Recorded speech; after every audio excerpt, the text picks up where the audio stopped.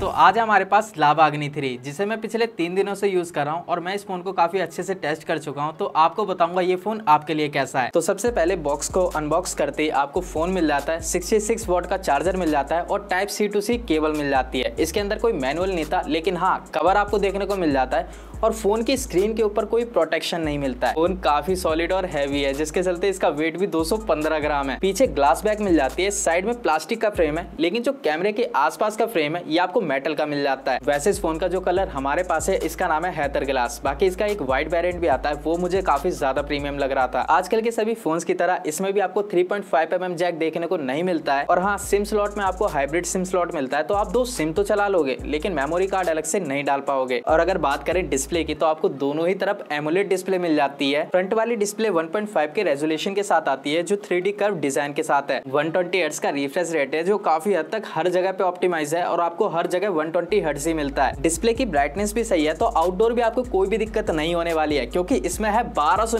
की peak brightness H content भी आराम से चला पाओगे, क्योंकि इसमें वाइड वाइन एलेवन का सपोर्ट है और इसके इन डिस्प्ले फिंगरप्रिंट और फेस लॉक की स्पीड भी काफ़ी सही है। जैसा की इस प्राइस रेंज के अंदर हम काफ़ी ही बेसिक फ़ोन देखते आए हैं, लेकिन लावा ने काफ़ी अलग कुछ करके दिखाया है। पीछे आपको जो ये सेकेंडरी डिस्प्ले मिल जाती है, ये भी एमोलेड है एंड काफ़ी यूजफुल भी है। सबसे पहले तो आप इसमें टाइम देख सकते हो। कैमरे को पूरी तरीके से कंट्रोल कर सकते हो फ़ोटोज़ क्लिक कर सकते हो वीडियो बना सकते हो। म्यूज़िक भी कंट्रोल हो जाता है। यहाँ तक की स्टेप्स भी काउंट हो जाते हैं। वॉइस रिकॉर्ड करनी हो अलार्म लगाना हो या फिर स्टॉप वॉच यूज़ करनी हो, इन सारे काम को भी आप इस वाले डिस्प्ले से आराम से कर पाओगे। यहाँ तक की आप इस डिस्प्ले से कॉल भी रिसीव कर सकते हो। तो आपको छोटे मोटे काम के लिए अपनी मेन डिस्प्ले यूज़ नहीं करनी पड़ेगी, जिसके चलते आपकी बैटरी भी सेव होगी। पर यार एक बहुत ही बड़ी दिक्कत मुझे दिखाई दी है।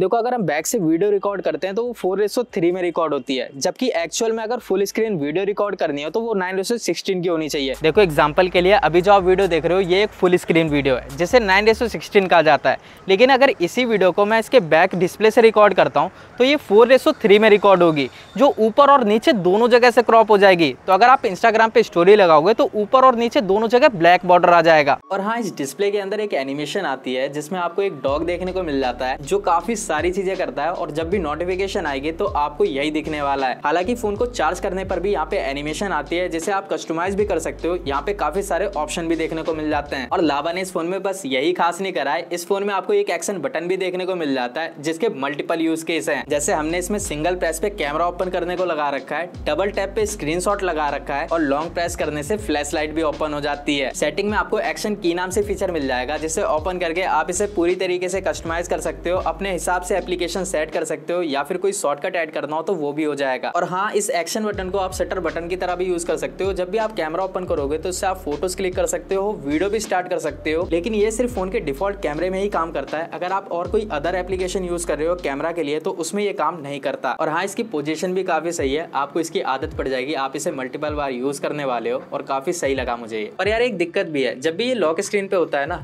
तभी एक्शन बटन काम ही नहीं अब मान लो मैं लॉक स्क्रीन पे वो डायरेक्ट मुझे कैमरा ओपन करना है जल्दी में तो मैं इसे ही दबाऊँगा बट नहीं होता है ओपन तो ये लॉक स्क्रीन पे काम नहीं करता, आपका फ़ोन अनलॉक होना चाहिए, तभी एक्शन बटन काम करता है। और अगर प्रोसेसर की बात करें तो इस फ़ोन में आपको मीडिया टेक का डायमेंसिटी सेवेंटी प्रोसेसर मिल जाता है। और ये इस फ़ोन में काफ़ी अच्छे से ऑप्टिमाइज है। हमने इसमें टोटल टेस्ट भी करके देखा और आप देख ही सकते हो रिज़ल्ट बिल्कुल कॉन्स्टेंट निकल कर आया यू भी बिल्कुल स्मूथ चलता है। एनिमेशन भी भर भर के दी गई है। कहीं भी एनिमेशन कट नहीं करी गई है। कहीं भी आपको कोई एड नहीं मिलने वाला, कोई ब्लॉटवेयर नहीं है इसके अंदर। ऐप ओपनिंग और क्लोजिंग भी काफ़ी फास्ट हो जाती है, क्योंकि इसमें एलपी डी रैम यूज़ करी गई है। और यूएफएस थ्री 3.1 स्टोरेज टाइप भी है। अगर आपको गेमिंग करनी होगी तो वो भी आराम से स्मूथ हो जाएगी, क्योंकि इसमें 60 एफपीएस तक गेम बहुत आराम से चल जाते हैं। इसमें आपको गेम बूस्टर नाम का एक ऑप्शन भी मिल जाता है, जिसमें मल्टीपल मोड है। और इसमें nine layer cooling system use करा गया है तो लंबे टाइम तक गेम खेलने पर भी फ़ोन ज़्यादा हीट नहीं होता है। कैमरे में आपको ट्रिपल कैमरा सेटअप देखने को मिल जाता है fifty plus eight plus eight megapixel जिसमें फिफ्टी मेगा पिक्सल सोनी का सेंसर है, जिसमें O I S plus E I S है। और दूसरा आपको एट मेगा पिक्सल का कैमरा मिलता है, जिसमें आपको थ्री एक्स ऑप्टिकल जूम और थर्टी एक्स तक डिजिटल जूम का ऑप्शन मिल जाता है। और जो तीसरा कैमरा मिलता है, वो भी आपको 8 मेगापिक्सल का अल्ट्रा वाइड कैमरा मिलता है। तो एक चीज़ तो अच्छी है, इस फ़ोन में कोई भी दो दो मेगापिक्सल वाला कैमरा नहीं है। और अगर फ़ोटोज़ की बात करें देन आपको हर एक फ़ोटोज़ में थोड़ा रेड स्टोन देखने को मिलेगा। और कभी कभी तो फ़ोटोज़ काफ़ी डल सी आती है, जिनमें कलर्स बहुत ही कम होते हैं। तो इतना कंसिस्टेंट रिज़ल्ट नहीं आते इसके, ये अच्छे से ऑप्टिमाइज नहीं है। लेकिन एक फन फैक्ट बताऊँ,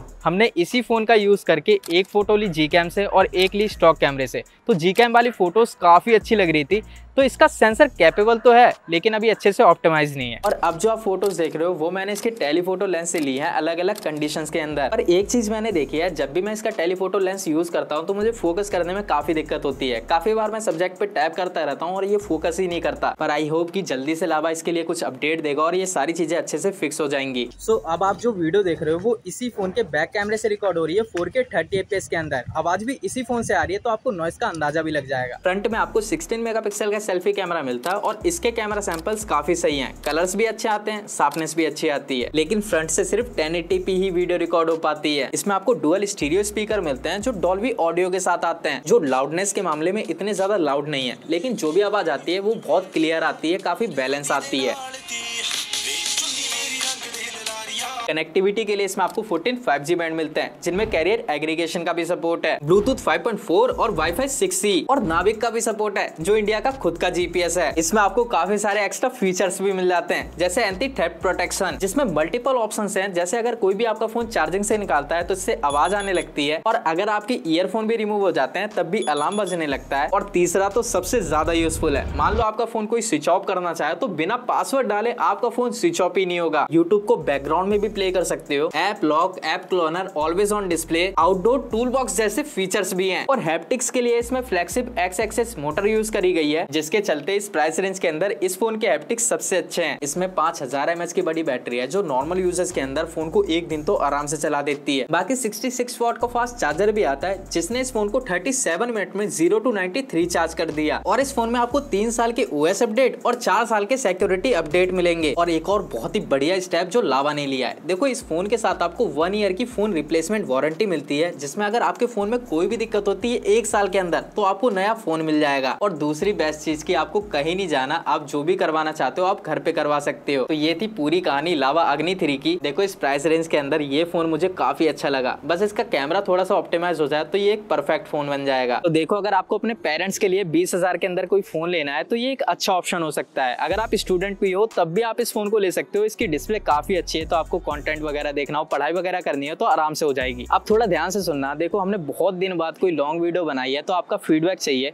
आपको ये वीडियो कैसी लगी? हम क्या क्या इंप्रूव कर सकते हैं अगली वीडियो के अंदर, वो ज़रूर बताना कमेंट के अंदर, बाकी आपको ये फ़ोन कैसा लगा। अगर इससे रिलेटेड कोई भी क्वेश्चन है तो नीचे कमेंट कर देना, आपको आंसर मिल जाएगा। बाकी और ऐसी वीडियोज़ के लिए टैग स्ट्रीट को सब्सक्राइब कर लेना।